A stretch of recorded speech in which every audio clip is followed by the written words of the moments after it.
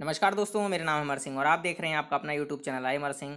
दोस्तों, आज की वीडियो में मैं आपको ये बताने वाला हूँ कि आईफोन ऐसी आपको लेना चाहिए कि आईफोन एक्सा लेना चाहिए। सबसे पहला सिंपल और जो आपके इस सवाल को अपने आप ही जवाब दे देगा, वो चीज़ है आपका बजट आपका बजट कितना है? अगर भाई आपका बजट फिक्स है तो आप आईफोन ऐसी में चले जाइए, कोई प्रॉब्लम नहीं है। और अगर आपको लगता है कि हाँ बजट मेरा थोड़ा अच्छा है, दस हज़ार रुपये मैं और पे कर सकता हूँ तो उसके लिए भाई सबसे अच्छी चीज़ आपको क्या मिलने वाली थोड़ा बड़ा डिस्प्ले साइज़ मिल जाएगा बैटरी लाइफ इंप्रूव हो जाएगी, और कैमरा वगैरह तो बाकी सब सेम है ही। ज़्यादा से ज़्यादा कैमरा में उन्नीस बीस का अंतर होगा, इससे ज़्यादा कोई अंतर नहीं है भाई।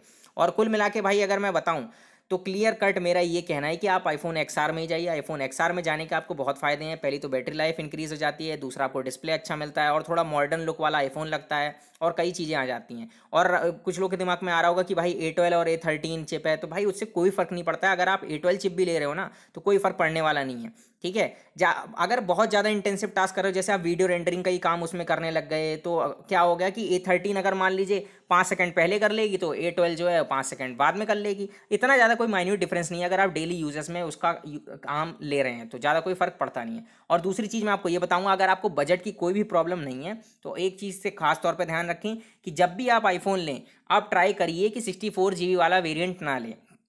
अब आप सोच रहे हो कि भाई सिक्सटी फोर जी वाला क्यों मना कर रहे हो? आई सिक्सटी फोर जी वाला इसलिए मना कर रहा हूँ क्योंकि भाई आईफोन्स में क्या है ना, जैसे मान लीजिए एंड्रॉयड में मैं व्हाट्सएप चला रहा हूँ तो मेरा जो एंड्रॉयड में एग्जांपल के तौर पर मैं बता रहा हूँ, अगर मान लीजिए मेरा फिफ्टी एम का व्हाट्सएप है तो यहाँ आई में जो मेरा व्हाट्सएप है ना, वो होगा लगभग मान के चलिए आपका एक सौ का, ठीक है? एक सौ तीस एम का, डेढ़ सौ का, इतना ज़्यादा होता है। तो बहुत ज़्यादा डिफरेंस आ जाता है, इसलिए मैं आपको कह रहा हूँ कि आप, अगर आपका बजट टाइट नहीं है तो आप जो है ट्राई करिए कि आप वन ट्वेंटी एट जी वाला वेरिएंट लीजिए। तो ये चीज़ मैं चाहता था कि मैं वीडियो में बताऊँ और इसके ऊपर मैं आपको वेरिएंट के वेरिएंट से रिलेटेड एक अलग वीडियो लेकर के आऊँगा तो आपको बहुत अच्छे से समझ में आ जाएगा।